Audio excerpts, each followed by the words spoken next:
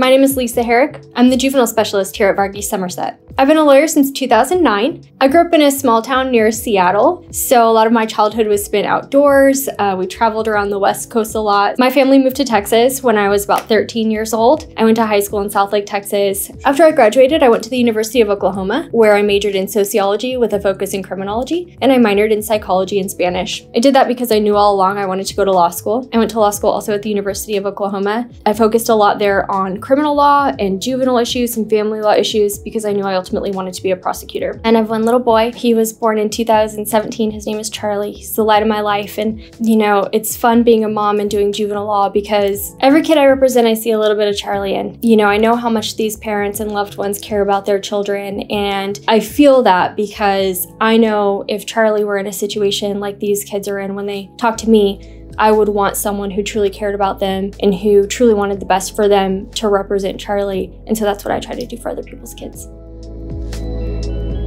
After I graduated from law school, I was a prosecutor at the Tarrant County District Attorney's Office for eight years. I loved my time there. I got to spend three of those years as a prosecutor in the juvenile division, where my sole focus was juvenile sex offenses. So I've got a lot of experience in that area. After about three years in juvenile, handling just sex offenses, I knew my time there had come to an end. And since then, I've been defending juveniles, and that's my focus today.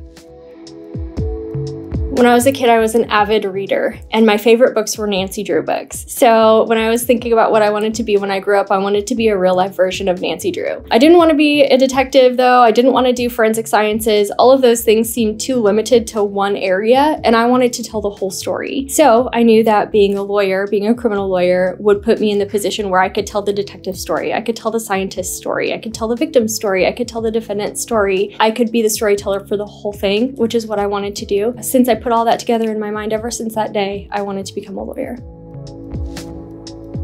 I love kids. I have a passion for helping kids. My mom was a, teacher when I was younger, and I got to experience her heart and her love for kids and really appreciate the work that she was doing and, and how she was doing that in her own way as a teacher. Teaching didn't feel like the right fit for me, but I still have that same passion and that same love for helping kids. I have a lot of empathy for the parents, grandparents, aunts, uncles, you know, whoever it is that end up reaching out to me because they love a child who needs my help. I'm a mom too, so I know what it's like to love a kid so much that you would do anything for them. And I know that it takes a lot of love to reach out to a lawyer to represent a child because that's not going to be that kid's best day, right? There are a lot of kids who have a loved one reaching out to me because because in their short life, this is the worst thing they've ever done. There are a lot of parents and loved ones who reach out to me because they love a child who made a silly mistake. I talk to parents who are calling me because their child is being deeply misunderstood or their child needs help that they're just not getting. I have the pleasure and honor of helping them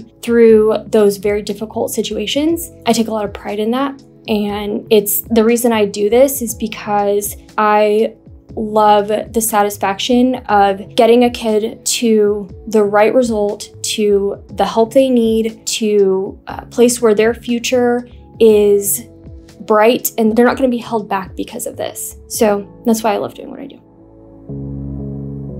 Benson and Anna I've known for a really long time. I was lucky enough to start out at the prosecutor's office with them, and we were all baby lawyers together. Anna and I were court partners for about 18 months, which means we handled all of our cases together in the same court. We were very lucky to practice in Judge Carr's court here in Tarrant County, and we made great friendships. We bonded, and Anna and Benson are some of my dearest friends. I am so honored to work here with them.